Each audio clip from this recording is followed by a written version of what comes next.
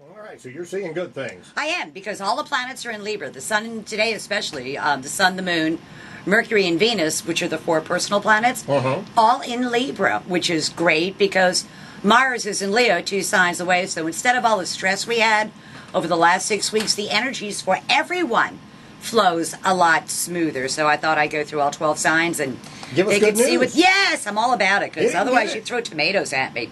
For Libras, it's about the Libra. It is about the Libra getting what they want. It's about the Libra exerting um, their opinion. It's about the Libra taking action.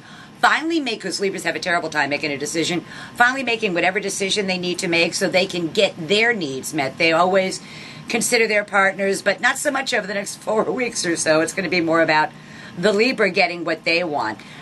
Yeah, me, me, me. That's the And Daffy Andrew, Ducks. Andrew, yes, Andrew. yes. They are going to be the Daffy Ducks of the zodiac this year, um, for this month. For Scorpios, not so much. Scorpios are taking a step back because this is the end of their solar year, and they are literally going over the last year, finishing up old projects because there is no energy for the Scorpio to start new ones next. So their best bet is to very quietly go through their life, um, look at the things that they they lost last year, see if they need to stay lost, and and just finish up old projects rather than starting new ones.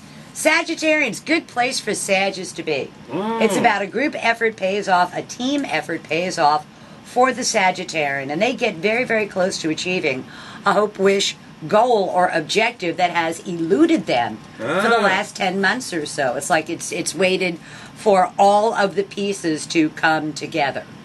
And they come together over the next four weeks or so. Capricorn's career decisions. The Capricorn's having a terrible time because they have a couple of opportunities. They're not sure which is the right one. About all Capricorns really know is what they don't want to do.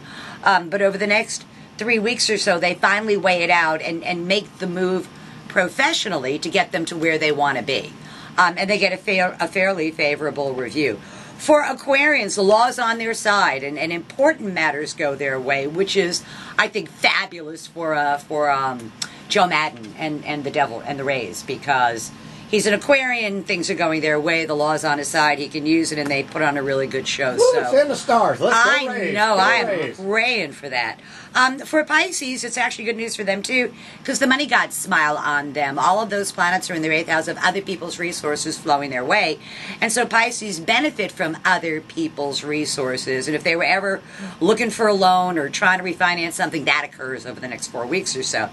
For Aries, it's in their seventh house of partners, and Aries really need to compromise. Aries are not big fans of compromise because they, they like to ram their opinions down other people's throats, and Aries are going to find that their partners and, and the people that they have to deal with, their opposites, are not going to budge, and the Aries is going to have to compromise a little bit. And if they do, peace can reign in their homes and in their lives.